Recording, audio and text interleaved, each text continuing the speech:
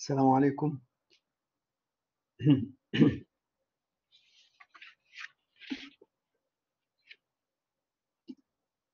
أهلا أهلا. كيف حالكم؟ إن شاء الله تكونوا بخير.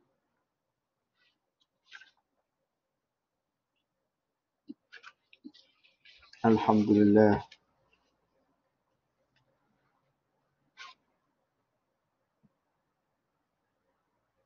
العدد لسه قليل ليه كده؟ تمانية؟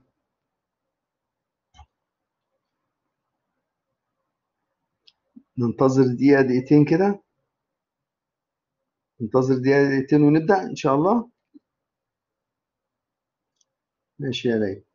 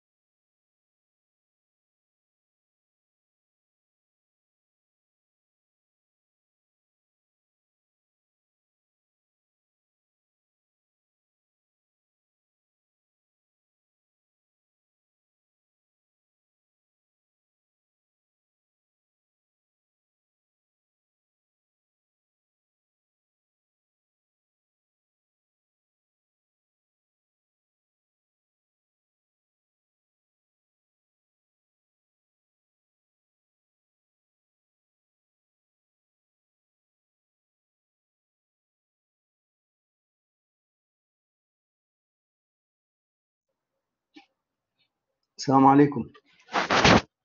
جاهزين؟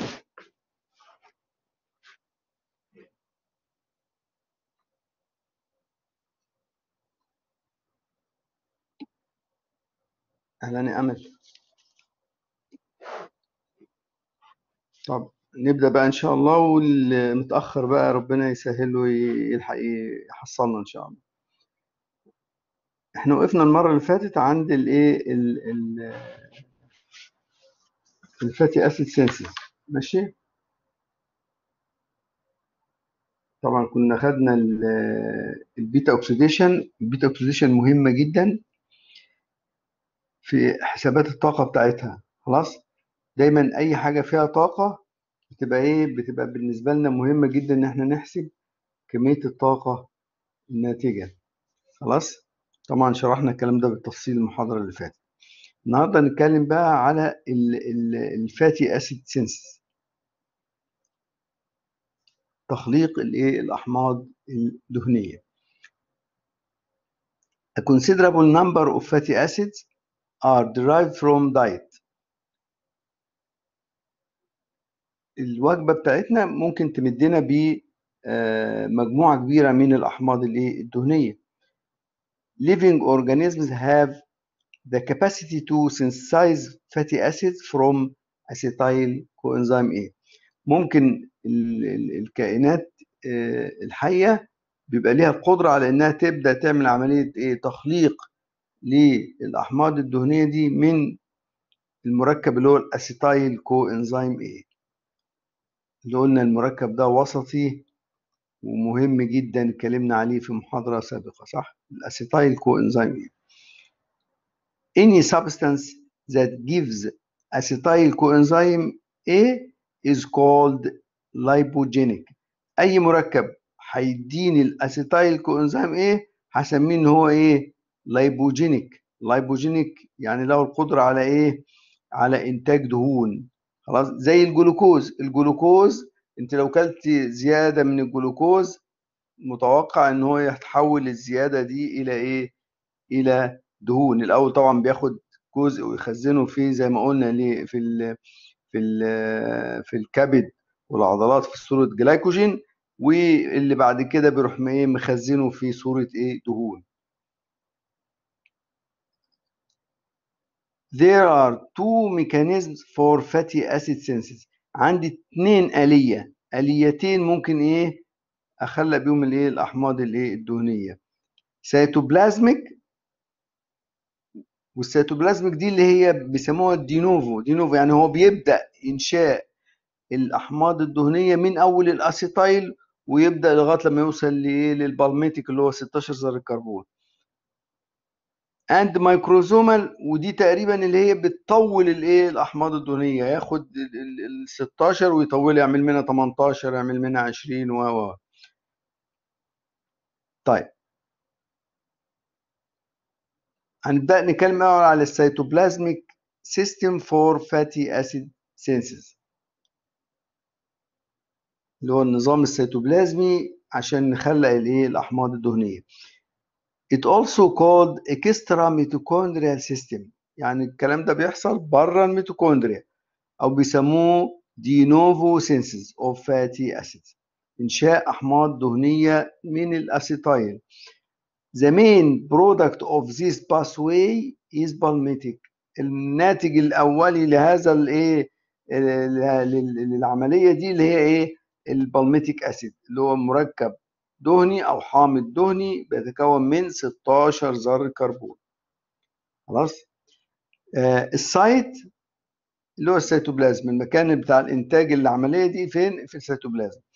ال location many tissues including liver mammary gland adipose tissue وال lung وال kidney دي الأماكن اللي إيه بتحصل فيها الإيه؟ الدينوفو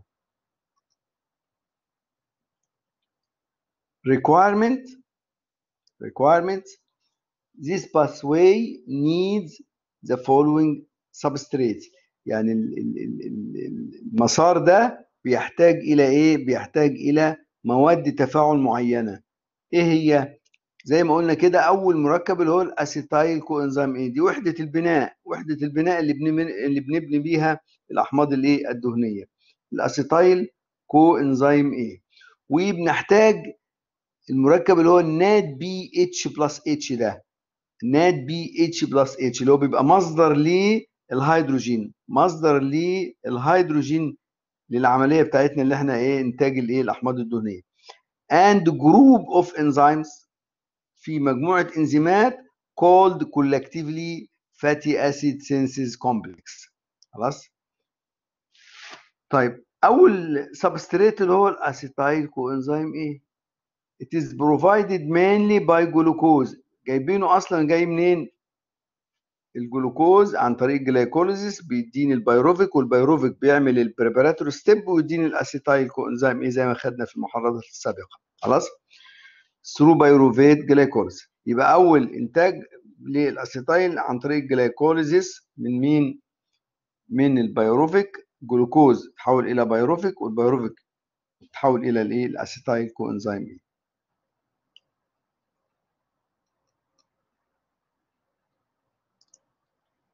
ال substrate الثاني اللي هو ال NADPH plus H اللي هو مصدر الإيه؟ الهيدروجين. It is provided by three sources. ده ممكن إيه؟ ممكن ناخده من إيه؟ من ثلاث مصادر ال pentose phosphate pathway ودرسنا الكلام ده بالتفصيل وعرفنا إن إيه؟ إن طبعا لازم تعرف هنا في الدورة بتاعت البنتوز لأنها مهمة. خلاص؟ دورة ال pentose phosphate pathway مهمة وهنمتحن فيها في الإيه؟ في ال في ال midterm خلاص؟ إنها بتنتج لي الايه اللي هو ال NADPH plus H خلاص؟ قلنا إن ال ال ال أهمية ال pentose phosphate إنها بتديني الايه بتديني ال NADPH plus H وبتديني كمان الايه ال pentose sugar سكريات الايه الخماسية اللي هي مهمة جدا في تخليق الأحماض النووية صح؟ طيب يبقى بنتكلم على ال NADPH plus H دي. اللي المصادر بتاعتها ال pentose phosphate pathway وخدنا الكلام ده بالتفصيل. action of cytoplasmic isocitrate dehydrogenase on isocitrate ده إحنا عارفين القصة بتاعت الستريك من أول الإيه إن ال acetyl لما بيتعامل مع ال oxaloacetic ويديني اللي هي ال citric acid وال citric يتحول ل isocitric وهكذا اللفة بتاعت Krebs دي. خلاص؟ وال action of malic enzyme on malate to produce pyruvate. خلاص؟ تحويل ال ال ال ال ال malic acid عن طريق إيه؟ الإنزيم ال malate ده عشان ننتج الإيه؟ ال pyruvate لو بصينا للشكل ده بيوضح لي إن الإيه؟ إن عملية تخليق ال fatty acid اللي هو ال production of fatty acid ده بيتطلب تعاون مجموعة من المسارات. أدي المسار الأولاني أهو اللي هو الجلوكوز. عشان يروح لل ribulose 5 فوسفيت. دي أنهي مسار ده؟ اللي هو ال pentose phosphate pathway. من خلال هذا المسار بينتج إيه؟ ال NADPH plus H ده اللي هو إحنا إيه؟ بنحتاجه في تخليق ال fatty acid خلاص؟ في دورة مسار تاني الجلوكوز عن طريق ال glycolysis بيديني الايه؟ ال pyruvic acid أو ال pyruvate وبعد كده يخش جوه الميتوكوندريا. خلاص؟ ال pyruvate هتحول إلى الايه؟ ال acetyl coenzyme A ويرتبط بال oxaloacetate عشان يكون لي إيه؟ الستريك اللي هو ال citric acid. خلاص؟ وال citric acid ده هو الوسيلة اللي بيطلع بيها ال acetyl بره الإيه؟ بره الميتوكوندريا مرة أخرى صح؟ عشان قلنا الإيه؟ ان الغشاء بتاع الميتوكوندريا ده غير منفذ لكن ممكن يعمل إيه؟ ممكن يخرج لي ال citrate ده. يخرج ال citrate ويتحول بعد كده ال citrate ده إلى الإيه؟ ال acetyl coenzyme A؟ اللي هي مادة البناء بتاعة الأحماض الدهنية أهي خرجت من جوه الميتوكوندريا إلى بره الإيه؟ السيتوبلازم مكان التخليق بتاع الإيه؟ الأحماض الدهنية صح؟ واداني oxaloacetate يبقى 2 و4 أدي 6 خلاص. كسرت أنا إيه الستريك acid أو ال citrate إلى ال acetyl وال oxalo acid ال acetyl هيخش في بناء ال fatty acid وال oxaloacetate هيتحول إلى ال malate وال malate يروح مرة أخرى إلى ال pyruvate هيديني ال NADPH. إنتاج NADPH عن طريق إيه تحول ال malate إلى الإيه إلى ال pyruvate خلاص؟ شفنا كده في كم مسار آدي ال glycolysis اللي هو ال pentose phosphate pathway وآدي ال glycolysis ومن Krebs cycle. كل دي وال oxaloacetate لل malate كل دي مسارات داخلة عشان تساعد في تحويل ال acetyl coenzyme A إلى ال fatty acid. كلها بتمدني بالايه بال acetyl اللي هي مادة البناء ال acetyl وبتمدني بإيه؟ بال NADPH اللي هو مصدر الايه الهيدروجين في عملية إنتاج ال fatty acid. واضح؟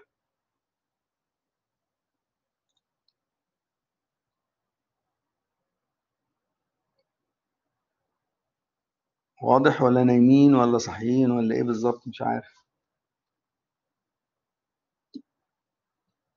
أمل واضح. الحمد لله. وريناد واضح. مفيش أي سؤال في الحتة دي ننقل؟ تمام. طيب.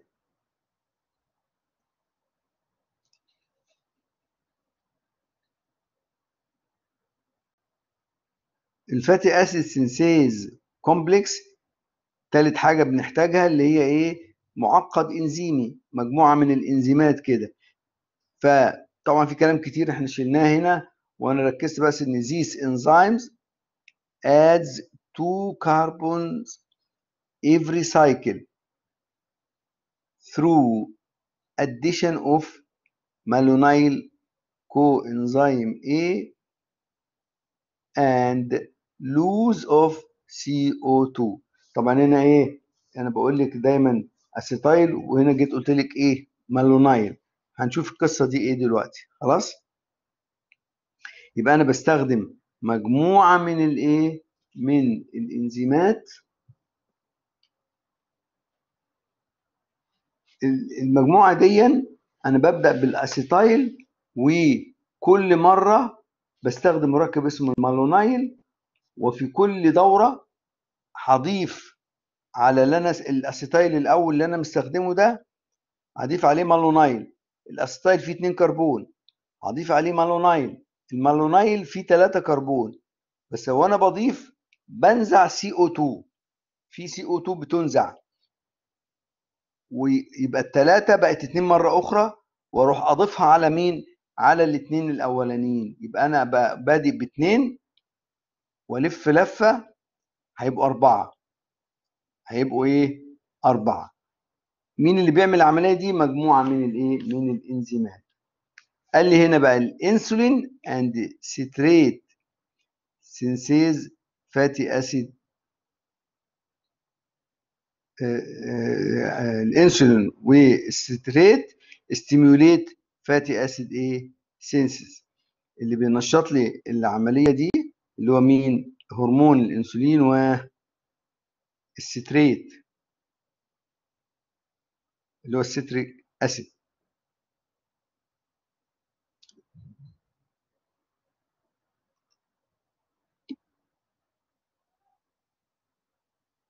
نعيد دي تاني. أنا بقول بستخدم ثلاث حاجات في إنتاج الأحماض الدهنية. أول substrate بستخدمه ال acetyl coenzyme A. تاني حاجة بستخدم مين؟ ال NADPH plus H كمصدر للهيدروجين.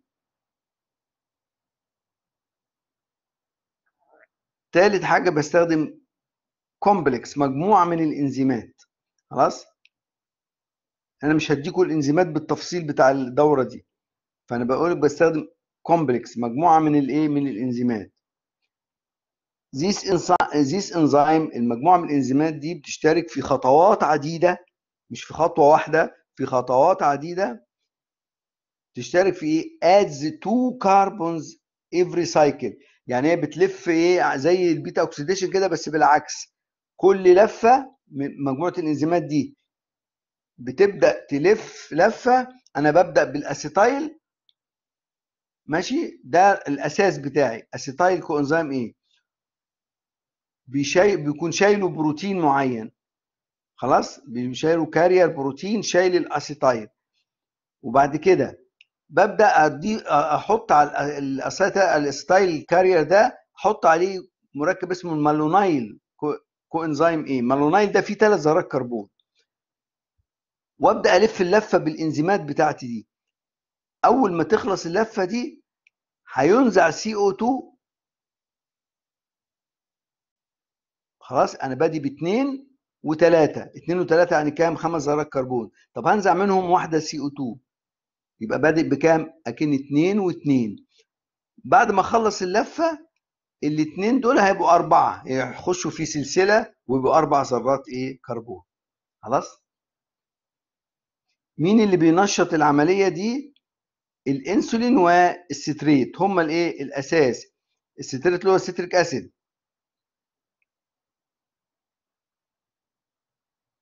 في زيادة من ال citric acid يبقى هيبدأ إيه؟ ينشط العملية دي ويتكسر إيه؟ ويطلع بره للسيتوبلازم ويتكسر إلى إيه؟ إلى acetyl و oxaloacetate ويبدأ ينشط لي العملية دي. أو الإنسولين الإنسولين لأن هو دي شغلته إن هو عايز يقلل السكر في الدم فبينشط أي حاجة تسحب الايه السكر من الدم. من ضمنها إيه؟ العملية دي عشان إيه؟ آه إنتاج الدهون ويبدأ يخزنها. خلاص؟ واضحه يا أمل؟ طبعا العملية دي هنشرحها دلوقتي حالا. أو steps of cytoplasmic pathway. الخطوات بتاعت إيه؟ الإنتاج الأحماض الدهنية من الإيه؟ من السيتوبلازم خلاص؟ أول خطوة اللي هي ال carboxylation of acetyl coenzyme A to form malonyl coenzyme. المركب اللي بقول لكم عليه. اهو يبقى أول حاجة في خطوة إن أنا بحول ال acetyl إلى malonyl.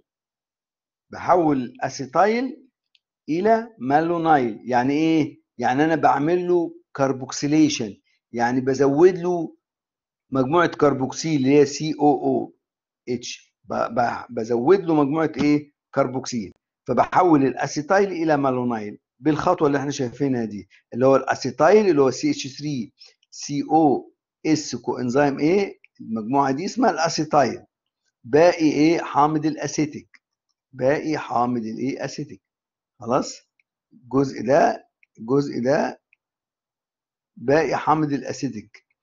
ال acetic CH3 COOH بشيل ال OH بقى CH3 CO شرطة دي. ما ده معناها إيه؟ acetyl. يعني باقي حامض ال acetic بيسموها ال acyl. acyl دي على إيه؟ acetyl malonyl أي حاجة إيه؟ باقي حام باقي الإيه؟ باقي الحامض الدهني لو أنا شلت منه إيه؟ ال OH. بقى باسمها بيسموها مجموعة ال acyl. acyl. خلاص؟ لو acetic يبقى acetyl. خلاص؟ دي ال acetyl coenzyme A؟ ال acetyl coenzyme A ده؟ خلاص؟ بعمل له carboxylation يعني بزود له مجموعة CO2 فبيبقى إيه؟ أهو ال CH3 هتبقى سي اتش 2 سي أو اس وال H اللي فاضلة هتبقى إيه؟ هيبقى COOH أهو يبقى أنا زودت مجموعة إيه؟ كربوكسيل خلاص زودت CO2 في صورة إيه؟ مجموعة كربوكسيل تحول ال acetyl إلى malonyl coenzyme A؟ أظن واضحة دي. واضحة؟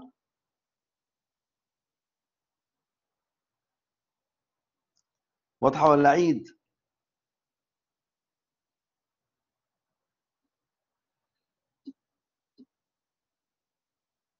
عيد على السريع. بصوا يا بنات أنا كل مرة أنا بستخدم وحدات ال malonyl دي عشان أنا اللي بستخدمها كل دورة عايز أزود ذرتين كربون للحامض الدهني عايز ازود له ذرتين كربون بستخدم malonyl بستخدم malonyl فالاول بحول ال acetyl إلى malonyl. خلاص؟ هحول ال acetyl إلى malonyl. ال acetyl ذرتين كربون. عايز أحوله malonyl. malonyl ثلاث ذرات كربون. يبقى هضطر إن أنا إيه؟ أضيف له مجموعة CO2 أضيف له CO2 اللي هو ال carbon dioxide لما اضيف له carbon dioxide هحول ال acetyl اللي هو CH3 COS coenzyme A ده هحوله هزود له إيه؟ CO2 أهو.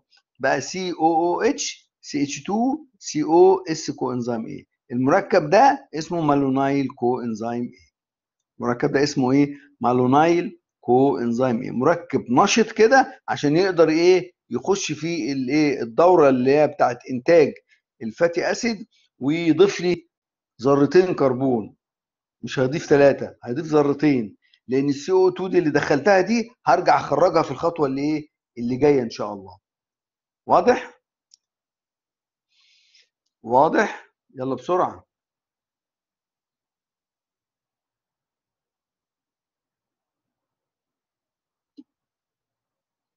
طيب.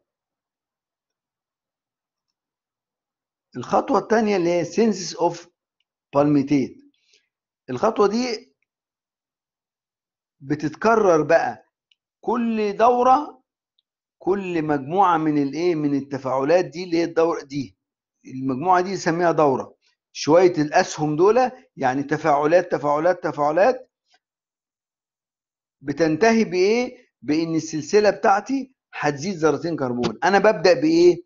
ببدأ بالمركب اللي أنتوا شايفينه ده الأول ده لو الجزء ده ده بروتين ده اللي أنا بشاور عليه ده ده بروتين شايل مجموعة acetyl بيسموه إيه؟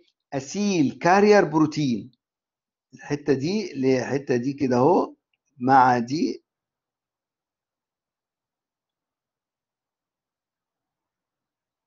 الحتة دي كده وكلها كده أهو.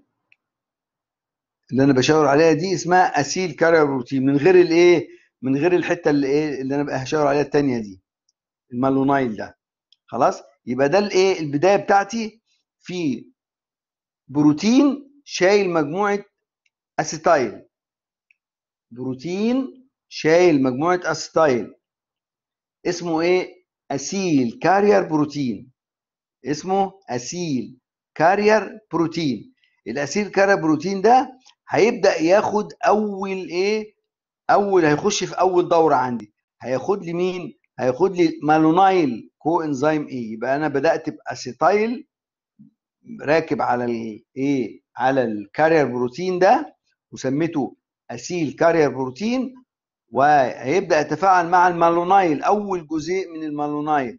malonyl coenzyme A خلاص؟ في خطوات عديدة. في خطوات عديدة. هستخدم فيها هنا إيه؟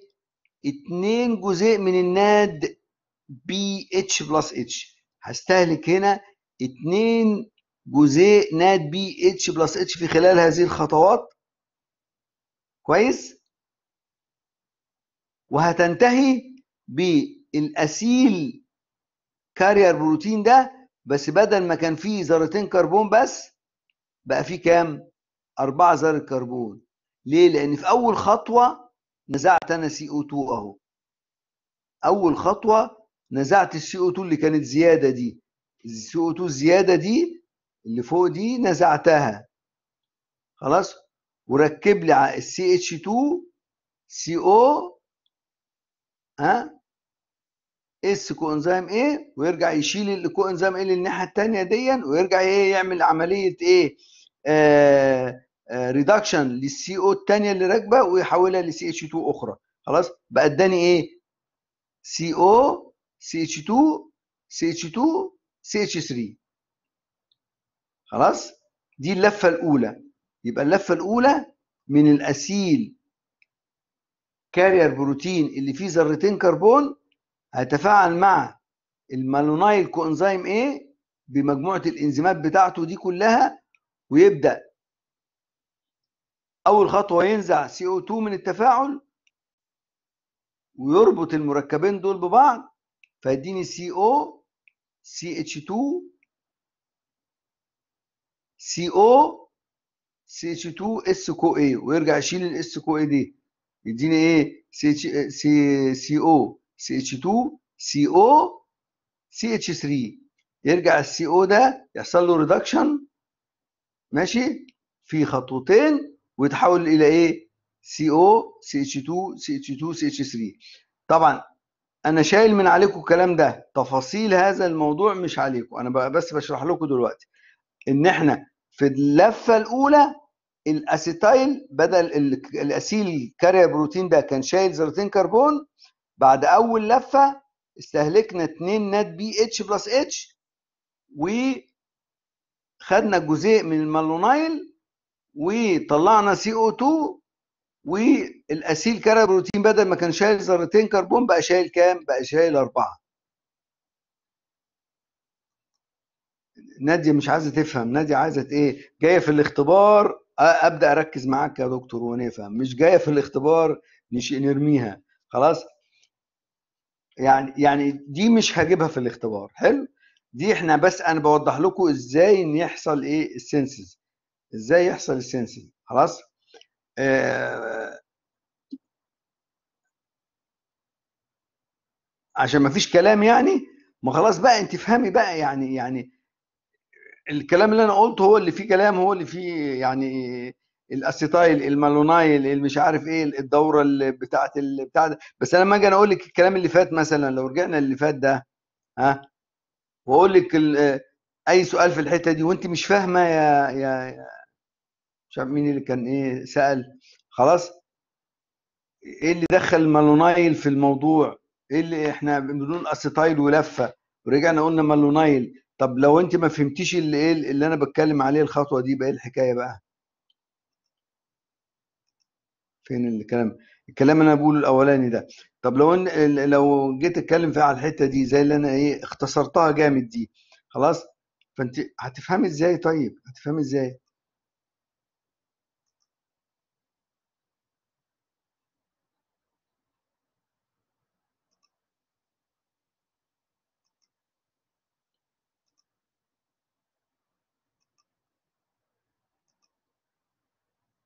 إحنا رحنا فين؟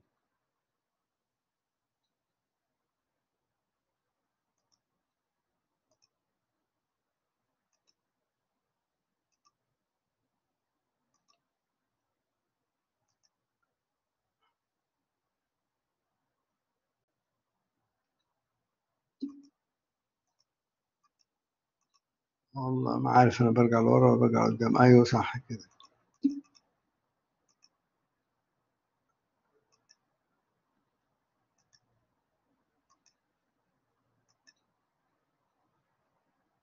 طيب.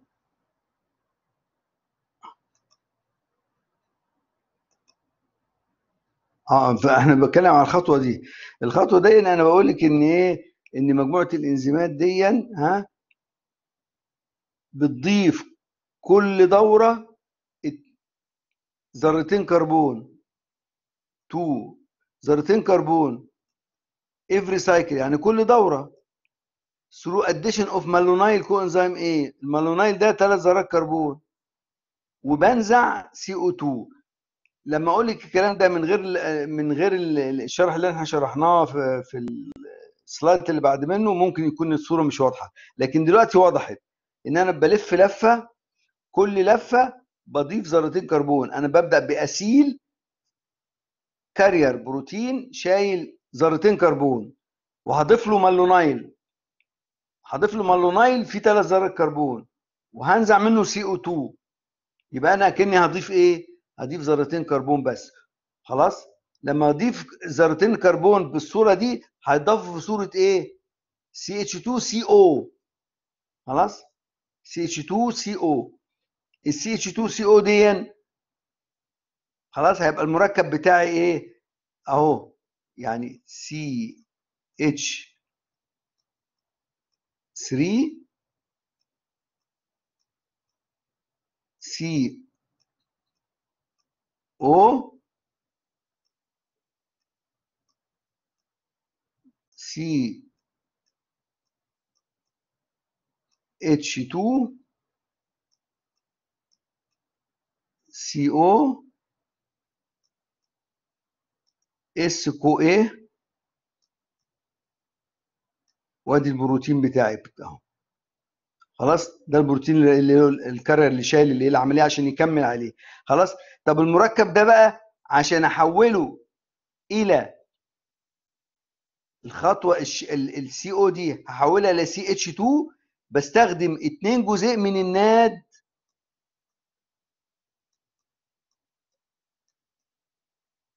H plus H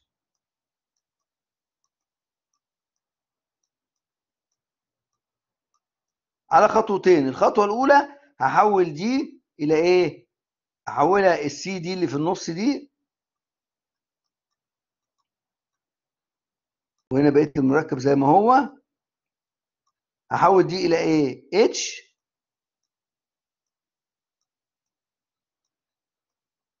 وال O ديت تبقى إيه؟ OH خلاص؟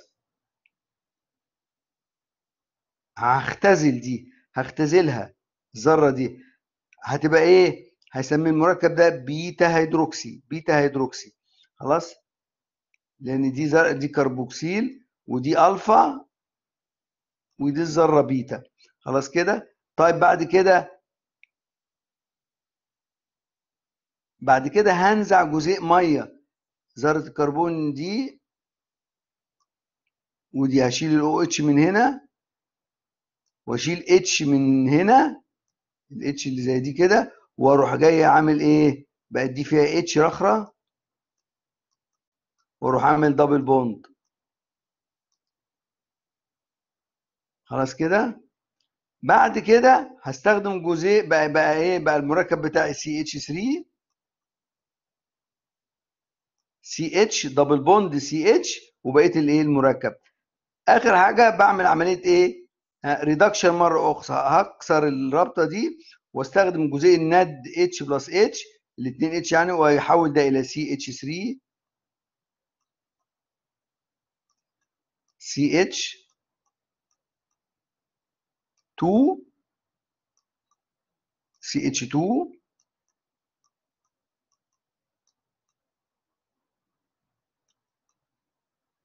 CO S coenzyme A بيدمر آه خلاص. كده عملته إيه؟ يبقى حولته الاثنين حولته إلى أربعة.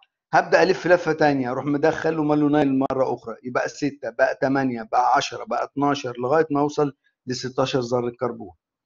متهيألي كده وضحت. صح؟ طبعا التفاصيل دي التفاصيل دي مش عليك. التفاصيل دي مش عليك. بس لازم تعرفي إزاي لازم تعرفي إزاي. خلاص؟ لأن لو لو اديت لك بس كده وما اديتلكيش التفاصيل دي هتبقى الأمور بالنسبة لك إيه؟ مبهمة.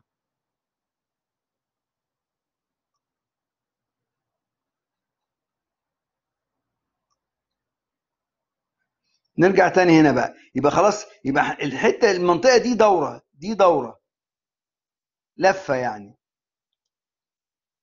بادي أنا بال acyl carrier اللي فيه ذرتين كربون وأحط عليه malonyl وانزع CO 2 وهلف اللفة اللي أنا شرحتها بالتفصيل دي ها؟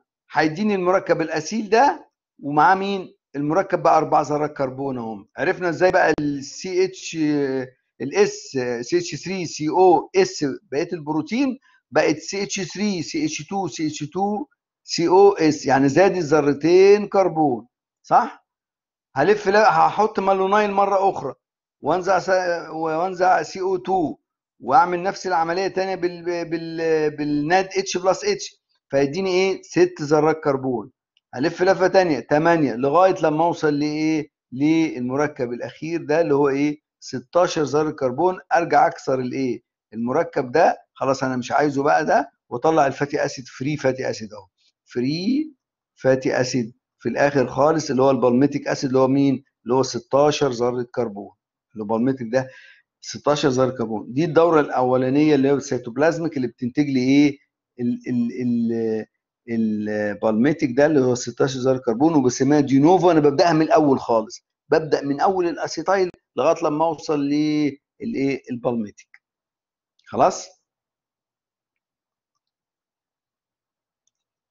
طب الدورة الثانية اللي هي ال microsomal pathway for fatty acid synthesis قال لي الثانية دي ال microsomal دي This is probably the main site for the elongation of existing long chain fatty acid molecule. يعني دي الدورة دي ما بتنشئش الحامض الدهني من الأول لا دي بتاخد حامض دهني جاهز وتطوله بدل ما كان 16 تخليه 18 تخليه 20 تخليه 22 ذره كربون وهكذا خلاص زي production of fatty acid longer than 16 carbon atom. يعني إنتاج أي حامض دهني أكتر من 16 ذرة كربون يبقى هستخدم الدورة دي. هاخد ال palmitic اللي أنا جبته وأطوله. في فين؟ هطوله في الدورة الثانية دي اللي هي ال microsomal pathway واضح؟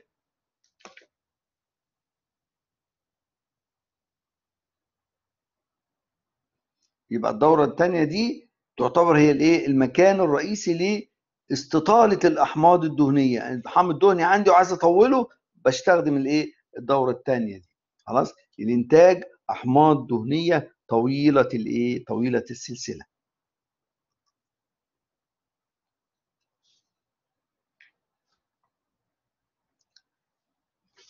ده مخطط كده بيوريني هنا الأسيتايل. الأسيتايل كوإنزيم إيه؟ هيحوله إلى ال palmitic acid لو 16 ذرة كربون يبقى لازم أستخدم ال de novo synthesis اللي صح؟ هي اللي بتنشئ من الأول هي اللي بتنشئ من أول ال acetyl وتمشي لغاية ما إيه تديني palmitic يبقى هستخدم الايه ال de novo طب عندي palmitic بقى خلاص. عايز أعمل له إيه؟ عايز أحوله لل stearic. 18 ذره كربون مشبع بردك يبقى بعمل له إيه؟ elongation أنا هزود له ذرتين كربون مش الدورة الأولانية بتيجي عند ال palmitic وتقف ما تعملكش زيادة خلاص. هي أطول حاجة تقدر تعملها لك تنشئ لك من الأول من أول ال acetyl مع ال malonyl وتبدأ تاخد لفة مع لفة مع لفة لغاية لما توصلك لل palmitic acid. 16 ذره كربون. طب أنا لا الخلية عايزة 18 ذره كربون. يبقى أروح للإيه؟ elongation الدورة الثانية خلاص؟ هتعمل لي إيه؟ هتحول لي ال palmitic إلى stearic 18 ذره كربون. خلاص؟ طب أنا عايز بقى ال stearic دي احول ال oleic acid. هعمل له إيه؟ عايز أعمل له يبقى فيه double bond عايز أنشئ إيه؟ رابطة في مكان نمرة تسعة مثلا. لأن هو ده المكان اللي ممكن الخلية في الإنسان تعملها. تعمل في نمرة تسعة واللي بعد منها. لكن ما تعملش في إيه؟ قبل نمرة تسعة زي ما خدنا في الترم الأولاني. صح؟ يبقى هعمل هنا إيه؟ عملية اسمها desaturation عملية الايه؟ de اللي هو بنزع إيه؟ بنزع آه هيدروجين من 9 وايه؟ و10 أو بعديها نمره 12 و13 أو 15 و16 وهكذا خلاص؟ واضح الكلام طيب ال ال هناخد دردشة شوية كده ونريح ونبدأ الايه التر المحاضرة اللي بعد كده. ماشي؟ تاخدي بريك دلوقتي ولا ندردش شوية في ال في ال في الاختبار؟ ها؟ بريك ولا ندردش في الاختبار اللي جاي؟ لنا يوم الأحد الجاي؟ ندردش. طيب إحنا الجزء اللي فات إحنا قلنا في المحاضرة بتاعت اللي أنا قلتها لكم امبارح إيه؟ العناصر والمية. هنخليها للإيه؟ آه ال mineral والمية هنعملها فين؟ هنخليها لل final. خلاص؟ طيب. يبقى إحنا الأجزاء اللي موجودة دي عندنا من أول محاضرة واحد كده لغاية المحاضرة بتاعت ال ال السكر مش كده؟ آه لغاية محاضرة الإيه؟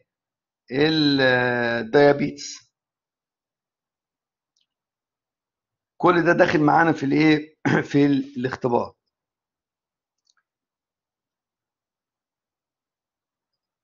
طبعا المحاضرة الأولى ال delta G والمش عارف إيه طبعا لازم إيه تبقي فاهمة الثلاثه expression دول بيعبروا عن إيه وبتاع. واضحة المحاضرة دي. خلاص؟ طيب. كل ال glycolysis بقى من أول ال glycolysis وال Krebs cycle وال pentose phosphate pathway ال key enzyme.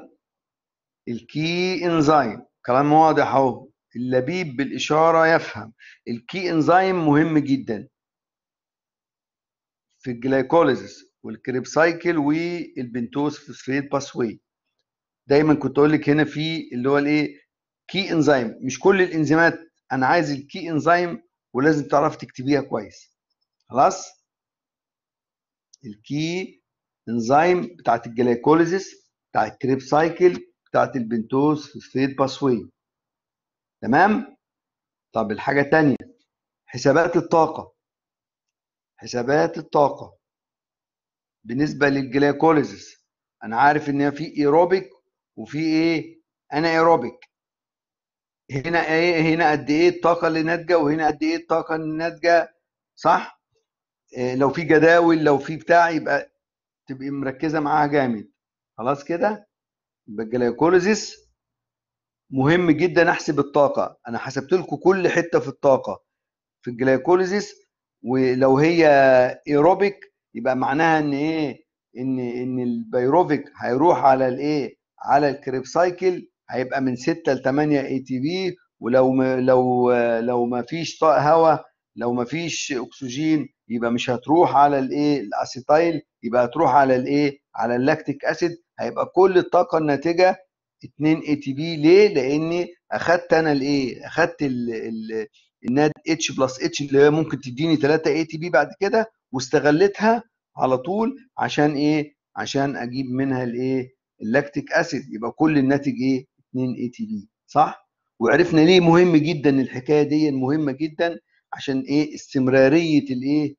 ال glycolysis. وإلا مش هيبقى فيه 2 ATP كمان. يبقى الأحسن لا أضحي بالثلاثه دول عشان يبقى فيه glycolysis شغاله على طول صح؟ وطبعا في عندنا خلايا زي ال RBC بتشتغل على الموضوع ده صح؟ كل الحاجات دي ركزي عليها كل الحاجات دي ركزي عليها مهم جدا. طب ال Krebs cycle نفس الحكاية حسابات الطاقة لل Krebs cycle. من أول ما نخش لل preparatory step اللي هي تحويل البيروفيك إلى ال acetyl خلاص؟ في إنتاج للطاقة. طب ال acetyl لما اخش جوه ال Krebs الواحدة acetyl جوه ال Krebs ب 12 ATP وعرفنا ال 12 جايين منين صح؟ 3 NADH plus H وواحدة FADH2 وواحدة ATP جاية بالطريقة الإيه؟ ال substrate صح؟ كل الكلام بتاع الطاقة ده مهم تركز عليه. طب ال pentose phosphate ليه حساب للطاقة رغم إني أنا ما بستخدموش إلا في حاجات إيه؟ في ضرورة قصوى. أنا بستخدم ال pentose phosphate عشان أنتج ال NADPH plus H صح؟ وبستخدمه زي ما شفنا كده في الدهون في في في صح؟ لكن هل هي بت... ممكن تديني ATP طبعا ممكن صح؟ ال NADPH ب 3 ATP زيها زي مين؟ زي ال NADH خلاص؟ ولكن الخلية بتست... بتستغل ال NADPH دي في عملية الايه ال reduction زي ما شفنا كده. يبقى نركز عليها. خلاص؟ يبقى ال key enzyme في كل الثلاث دورات مهم جدا ولازم تعرفي تكتبيهم عشان ممكن تسأل فيهم في ال midterm في كتابة. حسابات الطاقة إزاي أحسبها؟ عدد قد إيه بالظبط ال ATP اللي ناتج؟ خلاص؟ طيب. بردك ال function ال function مهم جدا. ال ال أو الامبورتنس بتاع الجلايكوليزيس الفانكشن أو الامبورتنس بتاع الكريب سايكل الفانكشن أو الامبورتنس بتاع مين؟ ال ال ال pentose phosphate pathway خلاص؟ طيب في حاجة تانية مهمة؟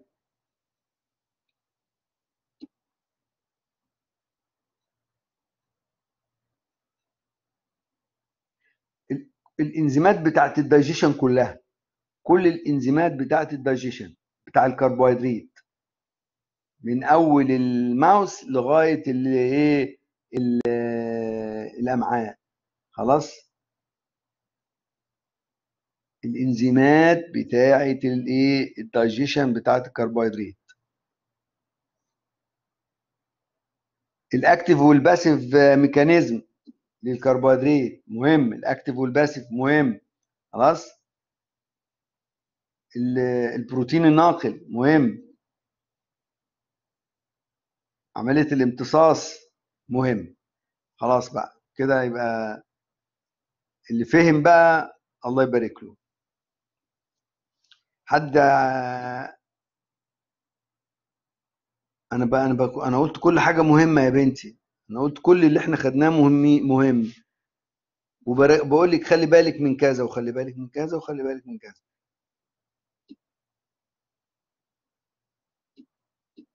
ما حدش يقول لي يا دكتور أنت ما قلتش مش عارف إيه. أنا بقول لك كل المحاضرات اللي جات مهمه وبركز لك على حاجات معينة.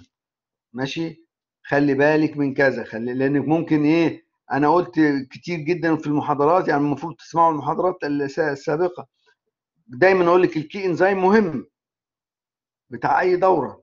هي ده اللي متحكم في الدورة. ال ال ال ال ال ال لو في هرمون بيتحكم في دورة لو في مش عارف إيه بيبقى مهم جدا طبعا. حسابات الطاقة مهم جدا طبعا. الابزوربشن والمش مهم جدا طبعا. الميكانيكيات الآلية بتاعت الامتصاص مهم جدا طبعا. كده. طيب هناخد راحة خمس دقايق؟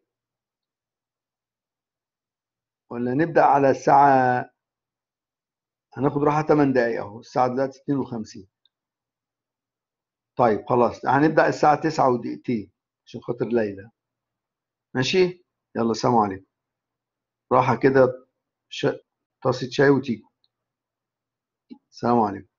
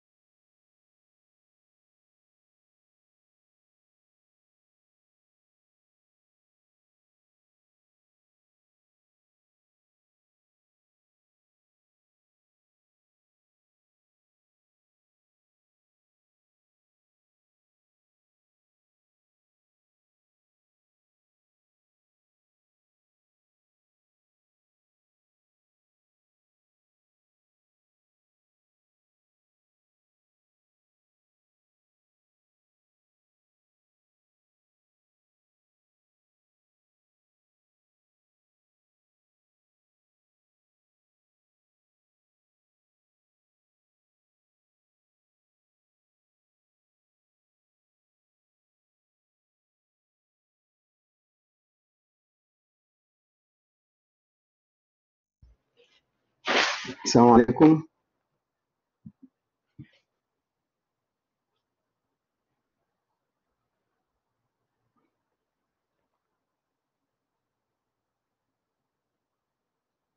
في صوت في صوت؟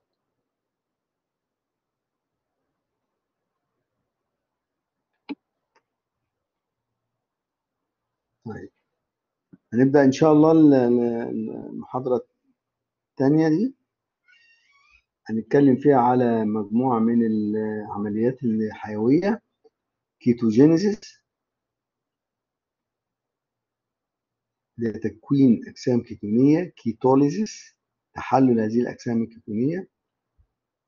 ketosis أو ketoacidosis زيادة ال- الأجسام الكيتونية لدرجة الإيه تكوين إيه حموضة في الدم. وهنتكلم على الكوليسترول سينسز.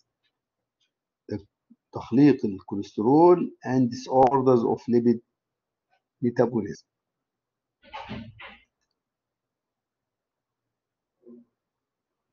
ketone bodies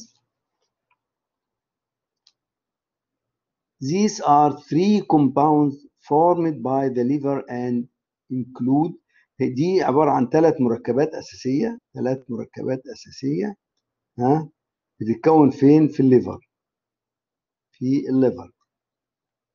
مين هم الثلاثة دول؟ اللي هو ال beta hydroxy beta hydroxybutyric acid butyric يعني أربع ذرات كربون.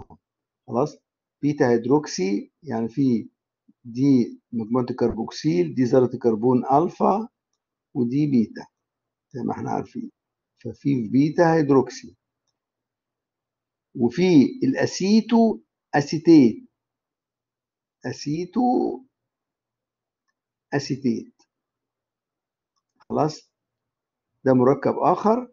وفي الأسيتون اللي أنتوا بتعملوا بيه الضوافر ده أسيتون. سي إتش سي سي أو سي إتش 3 دول ثلاث مركبات أساسية للايه ال- ال ketone bodies طيب. Function of ketone bodies. إيه وظائف الايه ال- ال ketone bodies أو أهميتها؟ Source of energy هي مصدر للطاقة. Ketone bodies are used as a source of energy. تستخدم كمصدر مصادر الطاقة زي قلنا المخ ممكن مفيش جلوكوز ممكن يست- يستغل الايه الكيتون بادز في إنتاج الطاقة له. They are converted into acetyl coenzyme A which is oxidized in tricarboxylic acid cycle. سهل قوي إن ال ketone bodies دي تتحول إلى الايه acetyl coenzyme A acetyl coenzyme A تخش Krebs cycle تديني 12 ATP حلو قوي جميل. skeletal muscles زي الكارديك ماسل والكيدنيز and most of tissues can use ketone bodies as a source of energy in prolonged fasting and starvation في حالات الايه الصيام او في حالات الجوع بيبدا تستخدم الايه الكيتون بادز دي في انتاج الايه الطاقه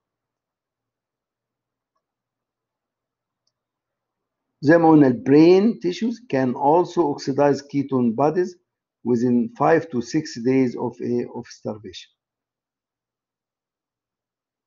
Note brain never oxidize fatty acids المخ ما بيستخدمش الإيه؟ الأحماض الدهنية في إنتاج الطاقة. لكن ممكن يستخدم جلوكوز أو يستخدم الإيه؟ ال ketone bodies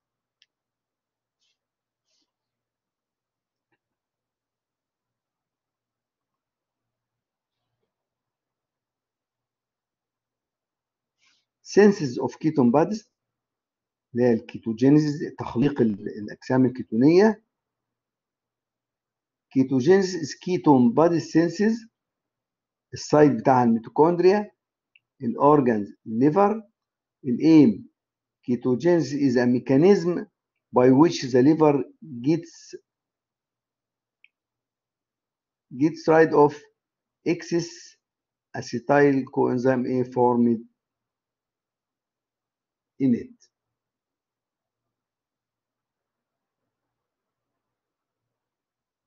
يعني ال ketogenesis دي تعتبر هي آلية أو ميكانيكية بيها الكبد يقدر يتخلص من الايه من ال acetyl coenzyme A الزيادة. أي acetyl coenzyme A زيادة مش عايزين خلاص نجيب منها طاقة أو بتاع ممكن نحولها إلى إيه؟ إلى أجسام كيتونية. precursor المواد البادئة اللي هو ال acetyl coenzyme A يبقى المادة البادئة للأجسام الكيتونيه هي ال acetyl coenzyme A مادة مهمة جدا مادة وسطية مهمة جدا. ال acetyl coenzyme A derived from fatty acids oxidation and ketogenic amino acid يعني ممكن أجيبها ال acetyl coenzyme A دي. أجيبها من الأحماض الدهنية أو أجيبها من الايه من تكسير الايه الأحماض الأمينية اللي هي ال ketogenic amino acid أو ممكن اجيبها زي ما شفنا كده في الأول خالص من الجلوكوز عن طريق الإيه؟ البيروفيك ومن البيروفيك إلى إيه؟ ال acetyl coenzyme دول الثلاث طرق بتوعها طيب.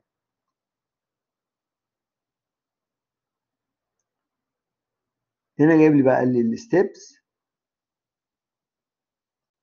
acetoacetate is the first ketone body produced في في الأول خالص أول مركب بينتج اللي هو ال acetoacetate acetoacetate اللي هو C هنجيبه لكم أهو. أهو. CH 3 CO CH 2 CO S coenzyme ده ال acetoacetate ده المركب الأولاني اللي إيه؟ بينتج. خلاص؟ ده ده اسمه aceto coenzyme A؟ هنتجه بصورة acetoacetate أهو. خلاص؟ آه اللي هو ال cursor مش باين معلش.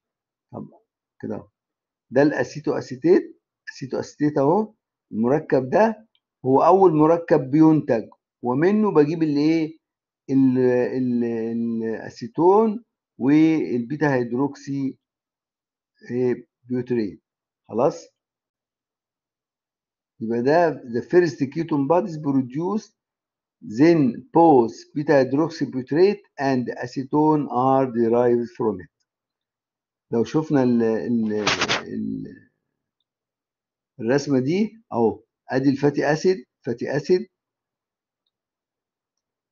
ممكن يتحول إلى acetoacetyl CO CH 2 CO S coenzyme A أو اتنين جزيء من ال acetyl يعملوا condensing مع بعض ويديني acetoacetyl coenzyme A خلاص؟ يبقى جاية من ال fatty acid أو جاية من الأحماض الأمينية لو حصل لها degradation أو جاية من إيه الجلوكوز whatever خلاص؟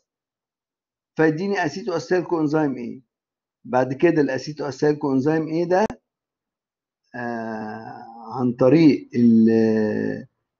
الإنزيم اللي هو آه بيسموه آه beta hydroxy methylglutaryl coenzyme A synthase ده إنزيم synthase يعني تخليق.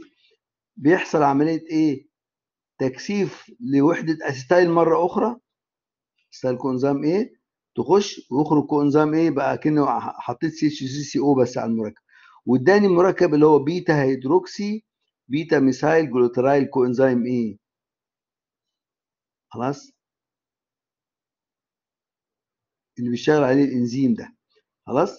بعد كده ببدأ أخرج acetyl coenzyme A مرة أخرى ويديني بيور بقى ال acetoacetate. acetoacetate C 3 C O C 2 C O O H خلاص؟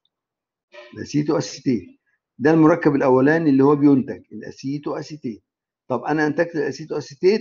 سهل قوي ها؟ من ال acetoacetate ده خلاص أنزع منه سي أو 2 ويديني سي اتش 3 سي أو سي اتش 2 اللي هو الإيه؟ الأسيتون اللي هو ممكن يخرج من إيه؟ الزفير بتاع الإيه؟ المريض.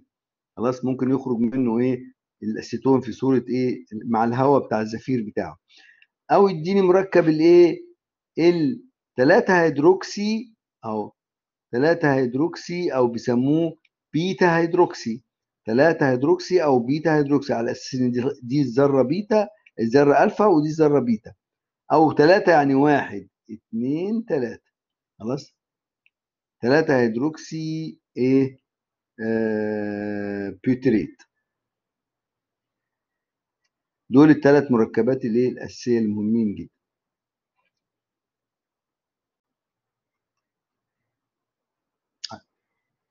Conditions that increase ketogenesis. إيه هي الظروف اللي ممكن إيه تزود لي عملية ال ketogenesis دي؟ بتزود الإيه؟ ال ketogenesis. أول حاجة اللي هي ال starvation ال starvation هو الجوع الجوع الشديد. خلاص؟ الانسان بيجوع يعني ما أكلش فبيبدأ إيه؟ يقل السكر في جسمه يبدأ يستغل إيه؟ يستغل أي حاجة موجودة في الجسم عشان يحصل على الطاقة. فمن ضمن الحاجات اللي بيستغلها بيبدأ يكسر في الدهون ويكسر في ال amino acid فبينشئ كمية كبيرة من الإيه؟ من الإيه؟ أجسام الكيتونية. طبعا ال diabetes mellitus اللي هو مرض السكري من العوامل اللي بتؤدي إلى زيادة الإيه؟ الاجسام الكيتونية. low carbohydrate diet اتباع نظام غذائي بيبقى فيه نسبة كربوهيدرات قليلة فبيعتمد الجسم على تكسير الايه البروتين أو الدهون زي الناس اللي بيستخدموا ال keto diet ده وكده. hyper catabolic state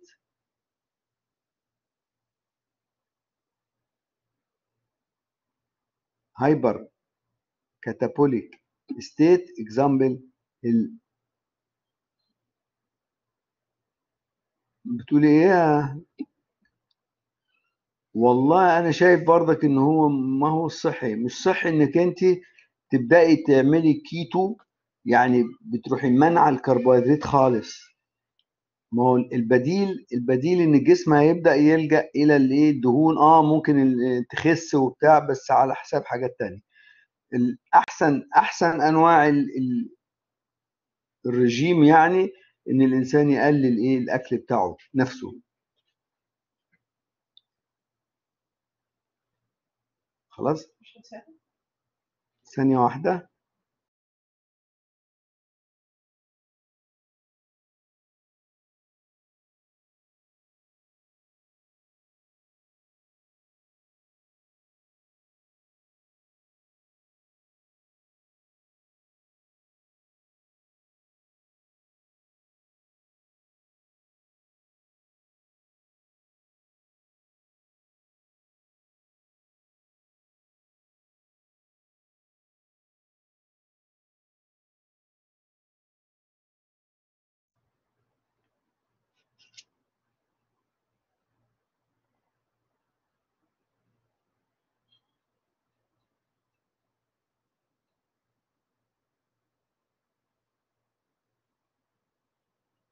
آه أيوه يا جماعة. ال hyper catabolic state example ال fever وال hyperthyroidism اللي هو فرط نشاط الغدة الإيه؟ الدرقية. regulation of ketogenesis تنظيم تكوين الكيتونات ده after meal insulin is secreted and this inhibits lipolysis. طالما أكلتي بيفرز الانسولين بيفرز الانسولين معناها إنه بيدخل جوه الخلايا الجلوكوز معناها هيوقف إيه؟ عملية تحلل الدهون صح؟ ده هو هي... هيساعد على ال lipogenesis مش ال lipolysis and in turn inhibits ketogenesis and in turn inhibit ketogenesis ده بيمنع تكوين الكيتونات. يبقى الانسولين بعد الأكل بيفرز يبقى أكيد هيمنع تكوين إيه؟ ال ke... ال ketogenesis. ليه؟ لأنه بيساعد على تكون الدهون أصلا مش تحلل الدهون. During fasting anti-insulin hormones are secreted. في أثناء الصيام أو في أثناء الجوع السكر بيقل فالإنسولين مفيش. فالعكس بقى بيفرز الهرمون المضاد للإنسولين اللي هو زي الجلوكاجون وده بيعمل إيه؟ Stimulates lipolysis. ده بيساعد على عايزين نرفع السكر. فبيساعد على آه تحلل الدهون. خلاص؟ and intern ketogenesis واضح صح؟ تمام يا ليلى. تمام. طب العملية الثانية بقى اللي هي الايه؟ الكيتوليزيس. عكس ال ketogenesis اللي هو تحلل الايه؟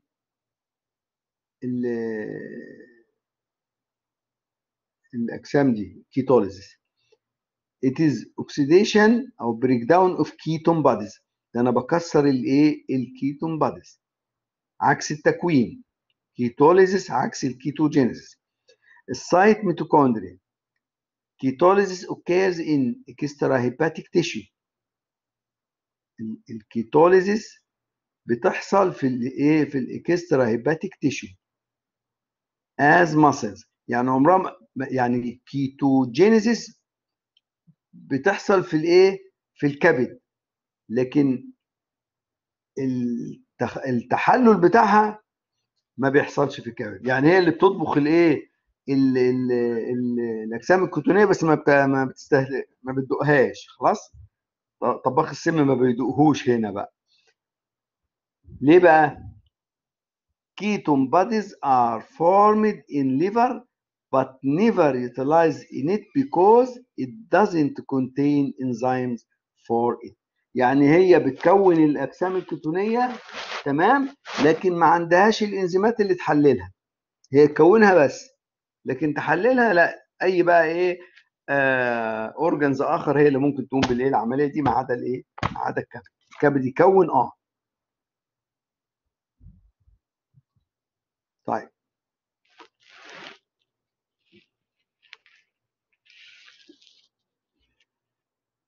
steps of ketolysis بقى الخطوات بتاعت ال ketolysis دي. acetone is volatile and removed in the expired air. أول واحد اللي هو الأسيتون ده سهل جدا لأنه بيبقى في صورة vapor كده ويطلع مع الإيه؟ مع الزفير بتاع المريض ويخرج.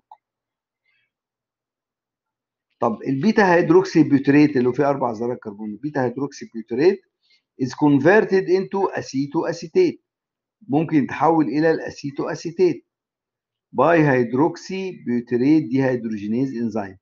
عن طريق إنزيم ده اللي هو hydroxybutyrate dehydrogenase يتحول إلى acetoacetate طيب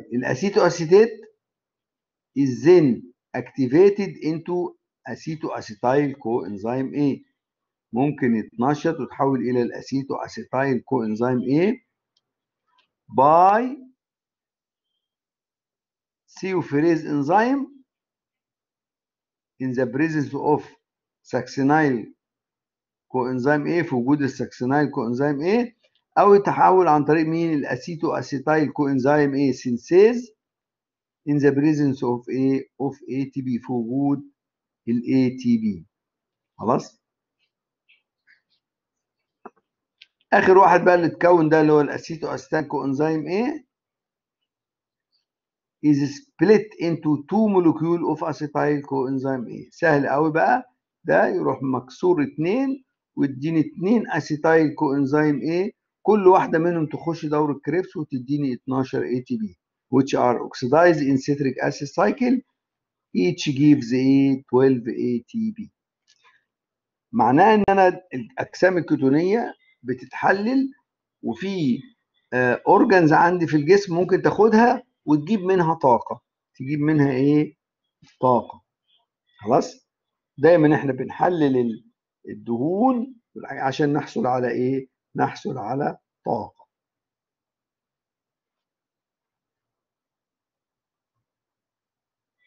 طيب. Blood ketone bodies and ketosis. Blood ketone bodies and ketosis. وجود الأجسام الكيتونيه دي في الدم وفي عملية اسمها ال ketosis. لو زادت الأجسام الكيتونيه بتسبب حاجة اسمها الإيه؟ ال ketosis أو ال ketoacidosis blood ketone bodies concentration is less than 3 ملغ per deciliter. ده الايه ال range الايه الطبيعي. بيبقى أقل من 3 ملغ per deciliter ممكن تحصل حاجة اسمها ketonemia. ارتفاع نسبه ال ketone bodies في الدم is the increase of blood ketone bodies above normal concentration لو زادت عن 3 مللي جرام ممكن تعمل حاجة اسمها الايه ketonemia it occurs when the rate of uh, formation of ketone bodies اللي هو ال ketogenesis is greater than the rate of their oxidation اللي هو ketolysis يعني لو زادت ال ketogenesis عن ال ketolysis معناها الايه؟ إن الأجسام الكيتونية هتزيد فيحصل ال ketonemia. خلاص؟ If the condition is severe لو بقى الظروف دي بتبقى حادة جدا فبيبقى فيه إنتاج أجسام كيتونية عالي فيبقى الإيه؟ ketonemia may lead to acidosis. ممكن تؤدي إلى عملية الإيه الأسيدوزيس أو الكيتوزيس أو الارتفاع حموضة الإيه حموضة الدم. خلاص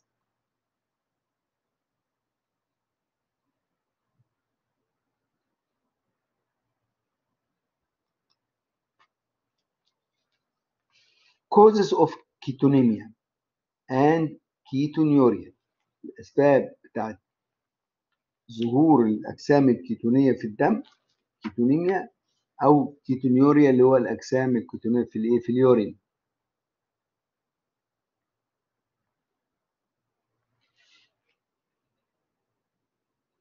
ال starvation اللي هو الجوع الشديد.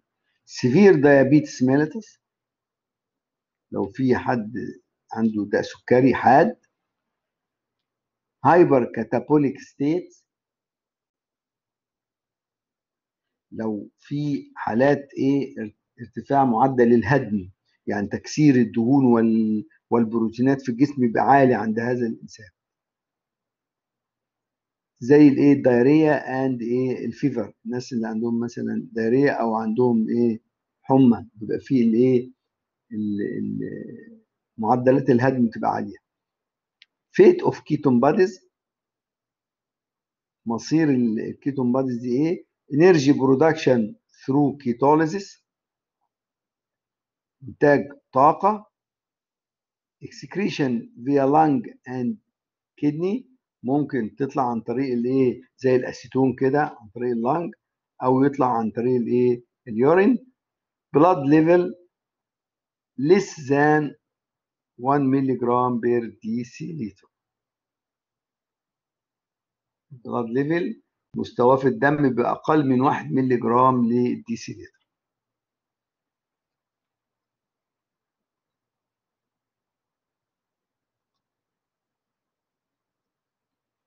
ketosis أو ketoacidosis اللي هو ارتفاع نسبة الحموضة ال ketosis is pathologic metabolic condition characterized by بيتميز بإيه؟ ketonemia which is increased ketone bodies in blood. يبقى الإنسان عنده ketonemia عنده ارتفاع نسبة الأجسام الكيتونية في الدم. ketonuria which is increased ketone body in urine. Acetone odor of expired air بيطلع ريحة الأسيتون من إيه؟ من النفس بتاعه. بيبقى فيه acidosis بيبقى فيه حموضة. الدم وبيحصل dehydration ويحصل إيه؟ جفاف.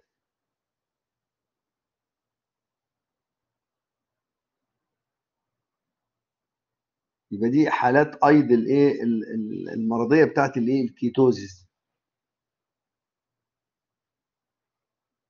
زيادة في أجسام كيتونية زيادة في الأخيرة dehydration جفاف dehydration بيحصل جفاف.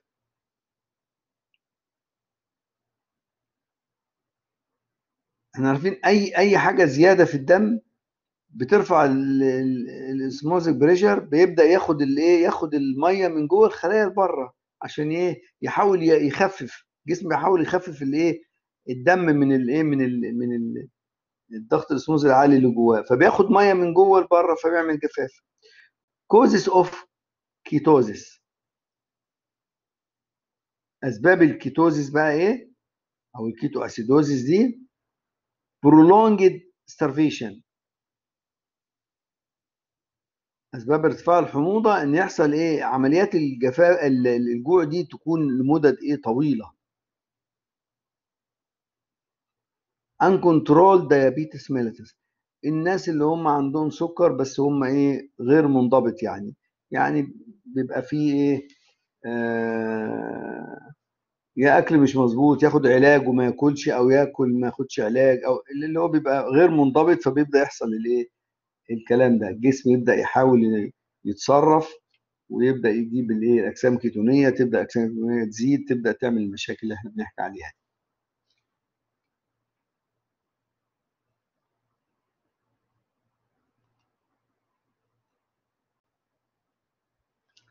metabolism of cholesterol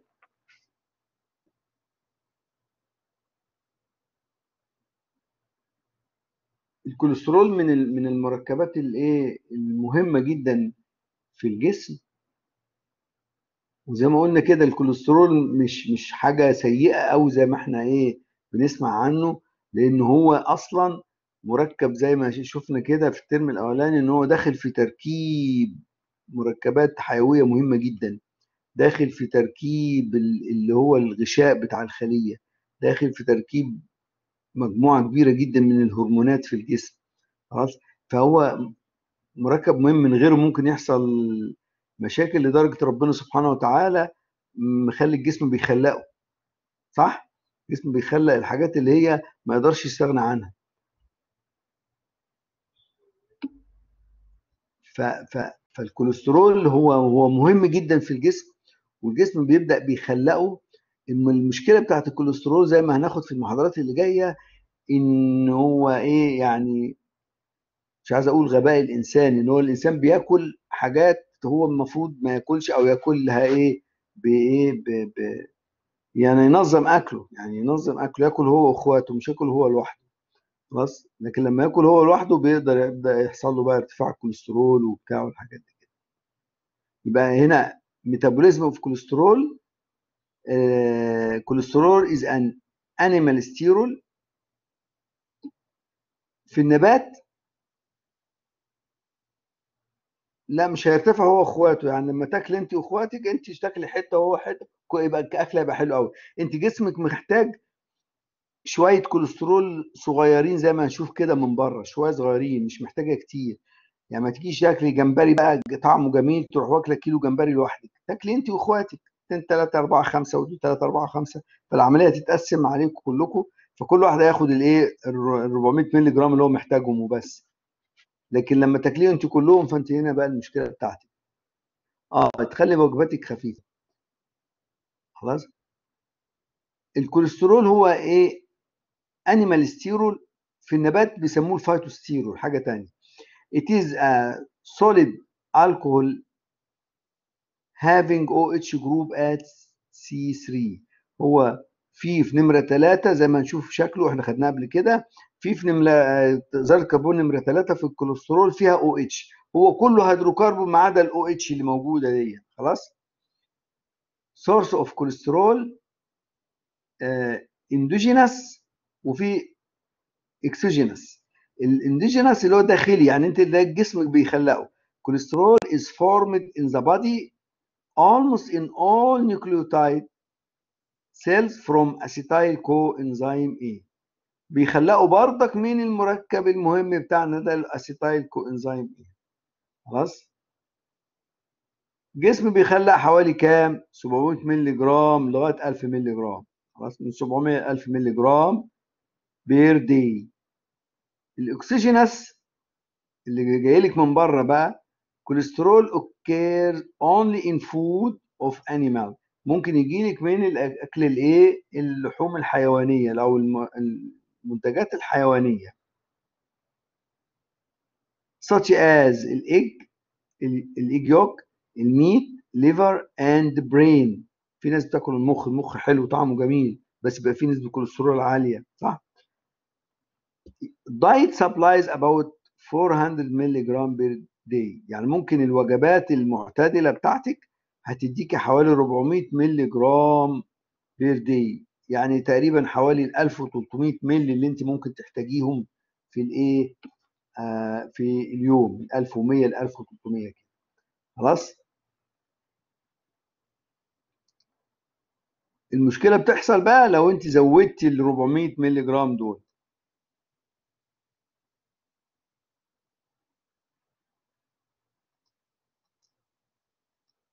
بتاع هنج ليه؟ مش عايز يقلب.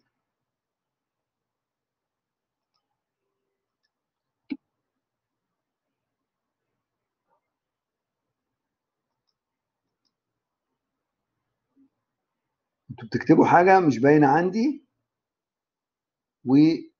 ومعرفش إيه اللي هنج ال- السلايد مش عايز يقلب.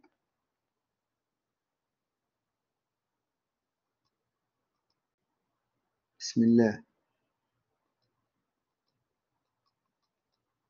طب أنتوا سامعيني ولا مش سامعيني؟ عشان يكونوا سامعيني كمان. ما أنا مش شايف مش شايف الكتابة بتاعتكم. مش بتظهر. في حد ممكن يتكلم ويقول لي سامع ولا مش سامع حاجة؟ دكتور نسمعك سامعيني يا دكتور. سامعين؟ أيوه سامعين طيب أنا مش عارف إيه اللي بيحصل في ال ال لا عايز يقلب الكمبيوتر السلايد ولا عايز يطلع الشات بتاعكم عندنا ال slide الصحيحة اللي وقفنا عندها بعدين قلب ورجع ممكن إيه؟ ممكن إيه؟ أقول إحنا واصلينها السلايدة يعني مكاننا صح. السلايد و... أنتوا واقفين على ال slide دي؟ أنا عايز أقلب مش مش عارف. بتوصل لكم؟ جرب. يعني أنا أنا واقف عند slide metabolism of cholesterol صح؟ لا إحنا عندنا cholesterol synthesis يعني أنتوا عديتوا؟ أي امال إيه بقى؟ ده أنا عندي يبقى في مشكلة. الآن ال ketosis أنا بقى يعني هو بيقلب كده دلوقتي؟ عندكم أيوه. طب أنا المفروض في بعد كده تقريبا اللي هو ال cholesterol synthesis أيوه. شايفينها؟ لا الآن اللي بعدها صارت. أنتوا في اللي بعدها؟ أيوه.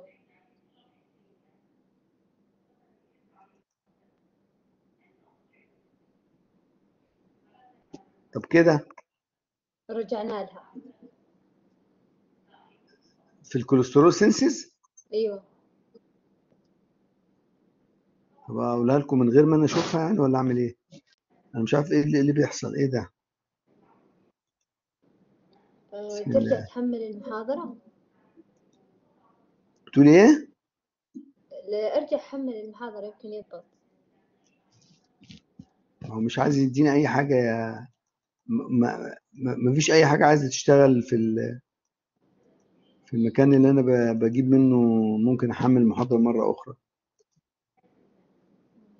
بسم الله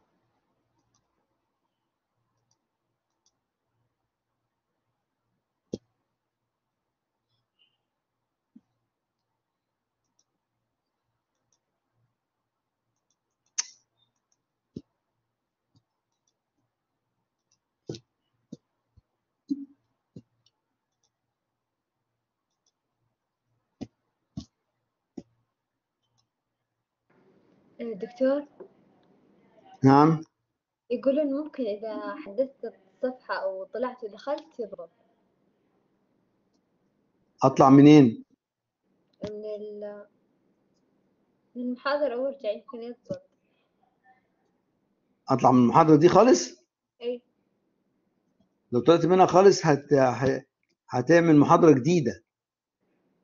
ليه ما ما أدري عاد طب ده غريب أوي أو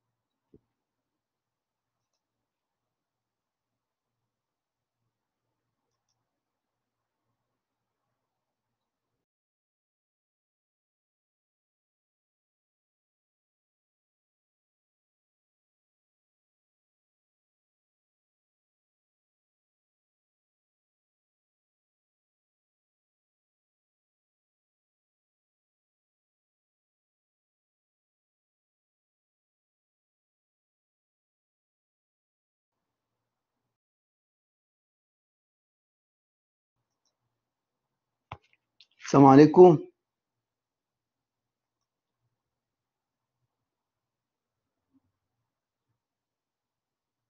في صوت؟ في صوت؟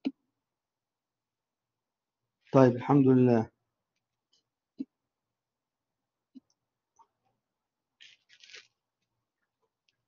طيب. هنتكلم على الكوليسترول سينسز. ربنا يسترها معانا إن شاء الله المحاضرة دي. طيب. تخليق الكوليسترول بقى ال site extra mitochondria برضه بره الميتوكوندريا في ال cytosol organ location liver is the major site of cholesterol synthesis. هو المكان الرئيسي اللي بيتكون فيه الايه؟ الكوليسترول. أو أكتر كمية من الكوليسترول بتتكون في الجسم من ال 700 مللي ده لل 1000 ده بيتكون فين؟ في ال liver. Other tissues ال intestine وال adrenal cortex وال gonads and skin كل ده بايه بتنتج كميات إيه من الكوليسترول. بس كميات قليلة طبعا بالنسبة للإيه؟ لل liver. ودي ال OH اللي في نمرة 3 اللي إحنا بنحكي عنها. ال OH اهي بتاعت نمرة 3 هو عبارة عن هيدروكربون يعني كربون وهيدروجين بس. التركيب بتاعه كربون وهيدروجين بس ما عدا في نمرة 3 في OH خلاص؟ precursor بتاعه ال acetyl coenzyme A؟ هو اللي بيتكون من ال acetyl coenzyme A؟ ال key enzyme of cholesterol synthesis is إيه hydroxy methyl glutaryl coenzyme A reductase الإنزيم ده HMG coenzyme A reductase ده اللي هو الايه الكي انزيم قلنا الكي انزيم دايما بيبقى إيه مهم في اي حاجة ناخدها so regulation of cholesterol synthesis is controlled by hydroxymethyl glutarate coenzyme A reductase هو اللي بيتحكم فيه في تخليقه يعني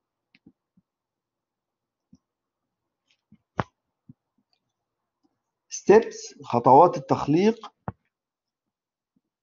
formation of acetoacetyl coenzyme A ببدأ من ال من ال acetyl coenzyme A أكون ال acetoacetyl coenzyme A by condensation of two molecule of acetyl coenzyme A.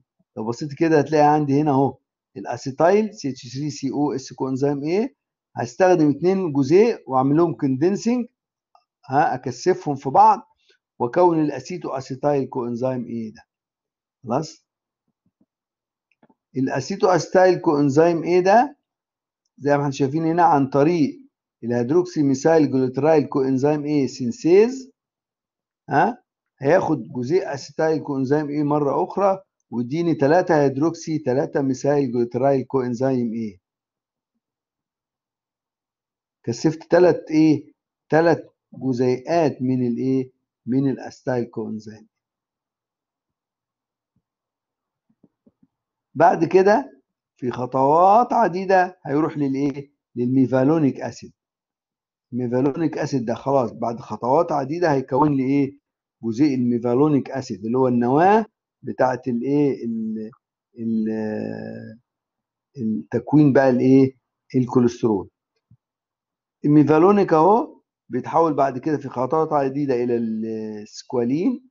في خطوات عديدة يروح للايه lanosterol يروح لل desmosterol بيروح للكوليسترول. طبعا هي خطوات إيه؟ complicated أنا عايزين إيه؟ نبسط الموضوع بس بالنسبة لكم مش هيهمكم قوي إيه ال synthesis بتاعها إلا الحاجات اللي أنا بقولها بس. ماشي؟ يبقى بكون ال acetoacetyl ويرجع بعد كده conversion of acetoacetyl coenzyme A؟ to cholesterol عن طريق تكوين ال mevalonic acid. ومن ال mevalonic acid بحوله إلى إيه؟ إلى الكوليسترول. ماشي؟ يعني نركز على اللي أنا بقوله بس في ال synthesis مش كل الخطوات. يعني يهمني جدا الايه الإنزيم بيشتغل فين أهو؟ الإنزيم ده همني فين؟ وأنا ببدأ منين؟ من ال acetyl coenzyme A؟ بجيب ال acetoacetyl ومن ال acetoacetyl بجيب الايه اللي هو المركب المشهور ده اللي 3 hydroxy 3 methyl glutaryl coenzyme A؟ وبحوله إلى mevalonic وال mevalonic بحوله إلى إيه؟ إلى كوليسترول. حتى الإيه اللي في النص دول ممكن إيه؟ ما بس من mevalonic على طول روح للإيه؟ للكوليسترول. تمام؟ function of cholesterol مهمة بقى جدا. ال importance أو ال function function بتاع الإيه؟ كوليسترول أهميته إيه؟ ووظيفته إيه؟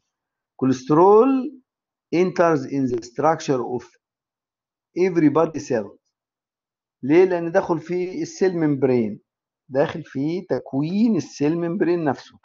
طيب cholesterol is the precursor of vitamin D3 زي ما خدنا قبل كده إن هو مجرد إن بكسر رابطة وتحول إلى CH2 و- و- وبحوله إلى إيه؟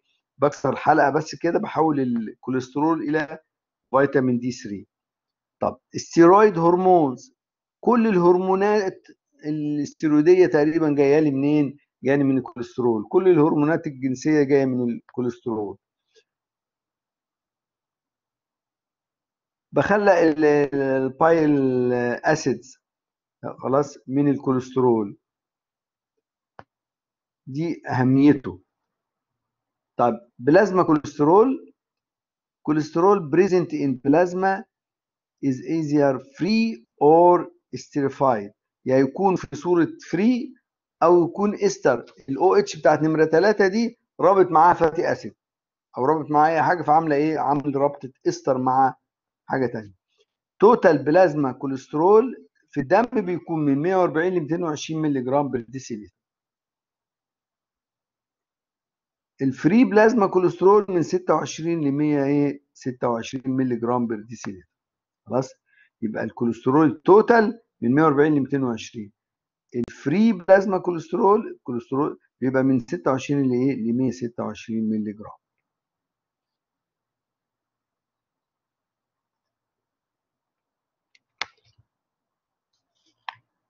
طيب hypercholesterolemia دي حالة من حالات بقى إيه؟ لو حصل ارتفاع نسبة الكوليسترول في الدم. Hypercholesterolemia it is increase increased plasma cholesterol concentration above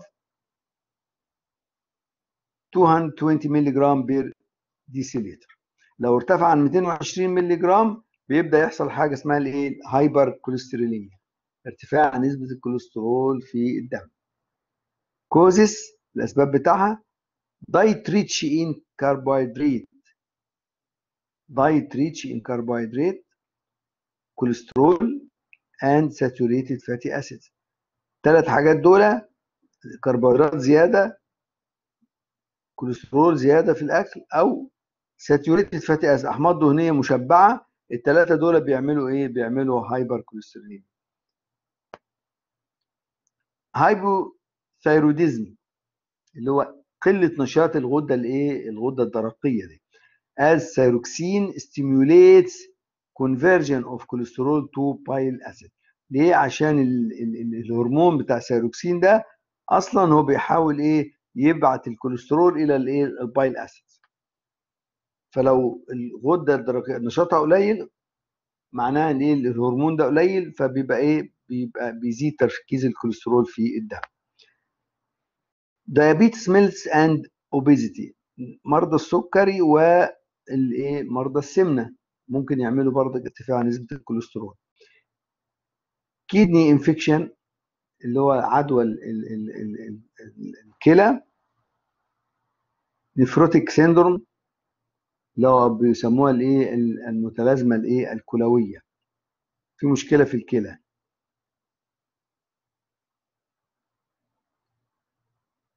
obstructive jaundice اللي هو بيسموه اليرقان الانسدادي بتاع ال اللي هي انسداد القنوات المراريه due to decreased excretion of a cholesterol and bile acids يبقى راجع إلى إيه decreased excretion of cholesterol and bile acids اخر حاجة اللي هي إيه familial hypercholesterolemia اللي هو بيبقى فيه إيه في آه آه تاريخ وراثي يعني لارتفاع الكوليسترول. بيبقى في جزء جيني منه. ارتفاع الكوليسترول بيبقى راجع إلى إيه؟ إلى جينات وراثية. ده آخر إيه؟ آخر سبب.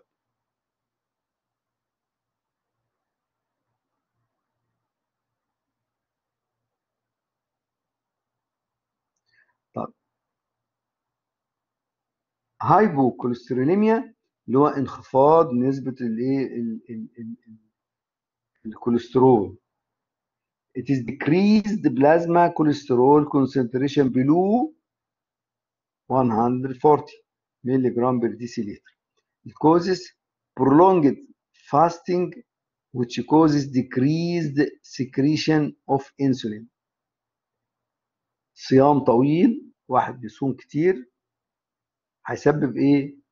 نقص decreased في ال secretion of insulin الإنسولين مش هيفرز. مفيش مفيش سكر. فيعمل decreased activation of إيه hydroxymethylglutaryl coenzyme A reductase هيقلل الإنزيم ده فمش هيكون الايه الكوليسترول. Diet rich in unsaturated fatty acids. يكون الوجبة الغذائية دايما فيها إيه؟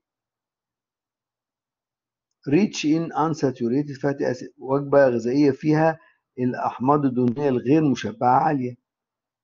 and poor in saturated. وما فيهاش أحماض دهنية مشبعة كتير. أو poor في الكربوهيدرات والإيه؟ والكوليسترول. خلاص؟ وجبات قليلة من الكربوهيدرات. وجبات قليلة من ال من ال saturated fatty acid وجبات قليلة من الكوليسترول وفي نفس الوقت ممكن الوجبة غنية بالايه بال unsaturated fatty acid فده كل ده إيه؟ هيقلل الكوليسترول liver disease liver disease أمراض الايه الكبد. As liver is the site where most plasma cholesterol is synthesized أي أمراض في الايه في ال liver لأن يعتبر liver هو المكان الرئيسي اللي بيكون أكبر كمية من الإيه؟ من الكوليسترول في الجسم. لو في مشكلة فبيبقى يحصل إيه؟ نقص في نسبة الإيه؟ الكوليسترول. طبعا نقص الكوليسترول مشكلة زي زي زيادة الكوليسترول زي ما قلنا لأن داخل فيه تركيب آه، مركبات حيوية مهمة جدا في الجسم ونقصها هيبقى هيعمل مشاكل كبيرة جدا. خلاص؟ chronic infection as tuberculosis دي اللي هو الإيه اللي هو مرض الإيه السل. tuberculosis tuberculosis طيب. Prevention of lipid disorders. Prevention of lipid disorders.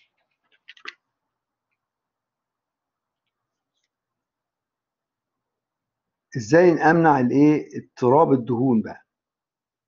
Increase intake of vegetables fruits and whole grain.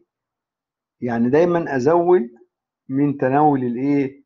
الخضروات والفواكه والحبوب الكاملة. دي أتناولها بإيه؟ بتبقى داخلة في الوجبة بتاعتي أساسية. أيضا الإيه؟ loaded with fiber. بيبقى فيها ألياف. Contain high amount of vitamin. الوجبة بتاعتي يبقى فيها إيه؟ آه كميات من الفيتامين وال mineral وال phytonutrients ال phytonutrients دي اللي هي المغذيات النباتية. يبقى فيها مواد إيه؟ جاية من النبات. phytonutrients خلاص؟ include low fat protein. يبقى أطعمة الطعام بيبقى غني بالإيه؟ بالبروتين. With very with every meal مع كل وجبة. زي الإيه؟ ال beans وال eggs وال fish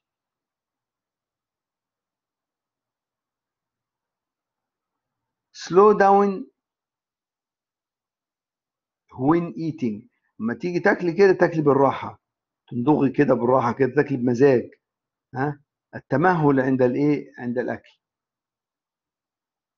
Too fast eating.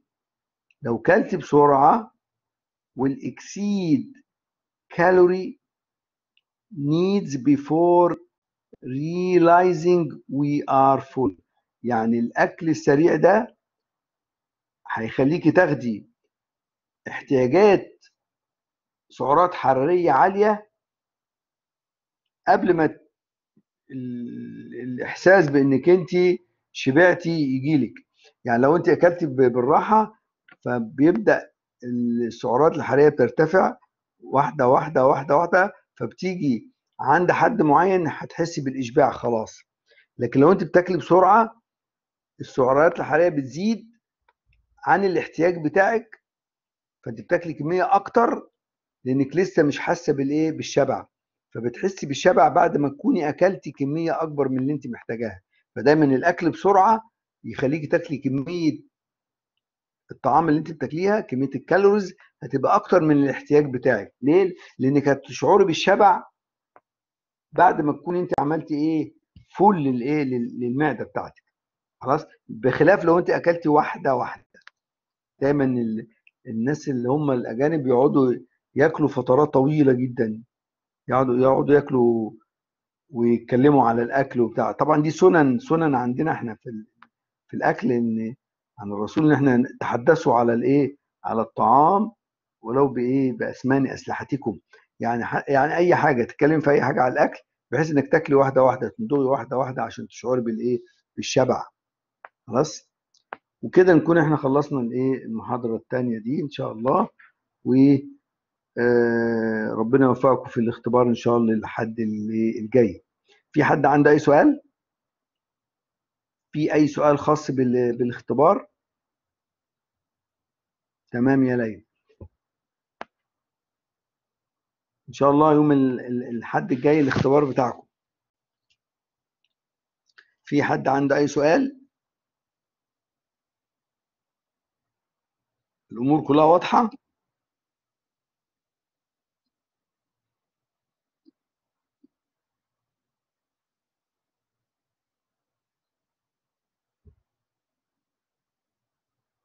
الأسئلة هتكون في أسئلة MCQ خلاص؟ وهيكون في كمية أسئلة كبيرة كتابة لأن هنخلص الكتابة في ال midterm عشان يبقى ال- final كله إيه؟ MCQ ونركز على الحاجات اللي قلناها النهارده. كم إيه يا أمل؟ اللي كم؟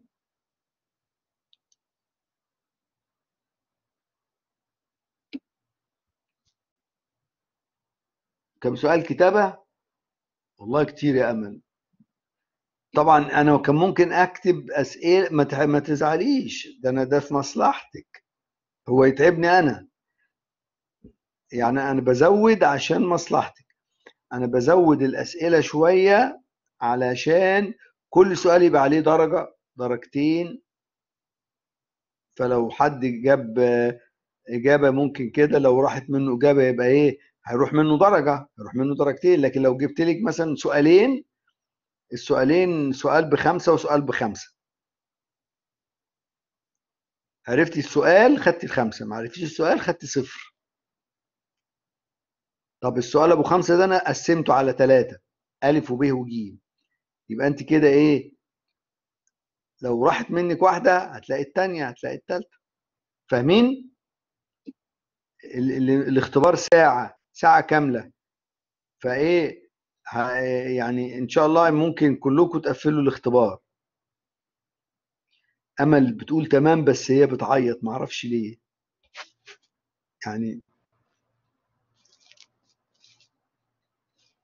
لا لا ساعة مش قليل ساعة كتير قوي ساعة كتير قوي على الاختبار. ساعة كتير على الاختبار. خلاص؟ زي ما قلت لكم ركزوا على الحاجات اللي قلتها لكم دي هتلاقوا الأمور كلها إيه سهلة وبسيطة. تمام؟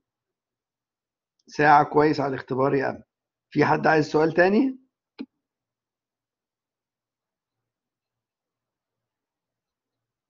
آه اتخضت أمل اتخضت شوية. لا الخضة معلش تتخض دلوقتي أحسن ما تتخض في اللي إيه في الامتحان صح؟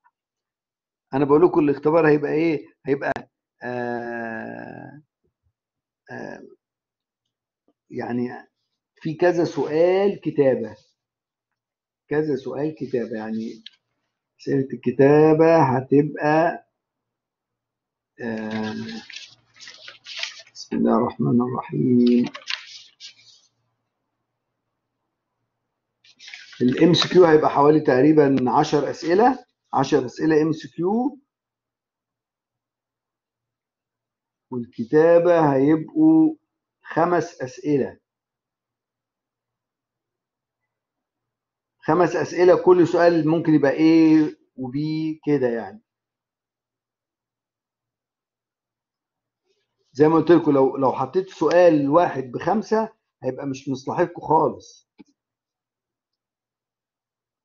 ب 30 درجة. total ال mid ب 30 درجة. أنا حاولت أقسم الأسئلة عشان تبقى إيه أنت هتكتبي في ما تقعديش ترغي كتير.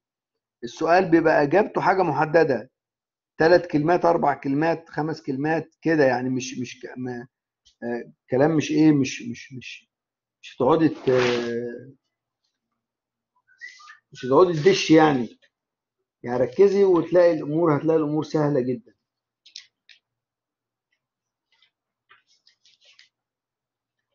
هتلاقي الأمور سهلة جدا.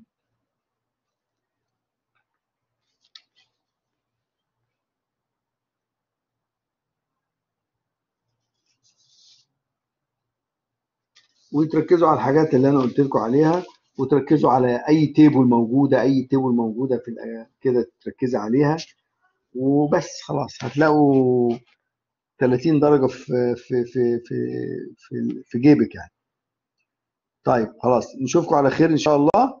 ولو حد أي حد عنده سؤال ولا حاجة ممكن إيه على ال- group لغاية قبل الامتحان بيوم. خلاص؟ يلا نشوفكم على خير إن شاء الله.